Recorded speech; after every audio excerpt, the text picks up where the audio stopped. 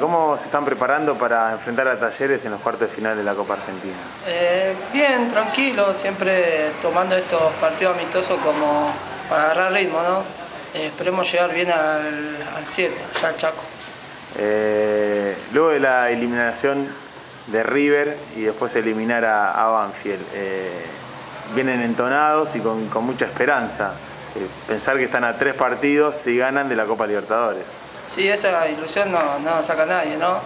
Eh, igual ya eh, tenemos la esperanza, no, son 90 minutos, eh, no, es, nada fácil porque Talleres le ganó al último campeón argentino, así que va a estar difícil.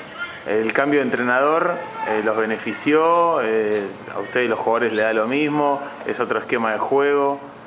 hay que acostumbrarse al juego del técnico, pasa que son dos técnicos diferentes que juegan de distinta manera y hay que acostumbrarse a siempre a lo que quiere uno, ¿no?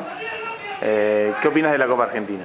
Eh, lindo campeonato. Eh, para mí fue una fue algo de jugar contra River y todo eso que capaz que nunca lo vas a hacer en tu vida o capaz que sí, pero es algo emocionante jugar la Copa Argentina. Bueno, ¿cómo te ves luego del partido de Talleres? festejando.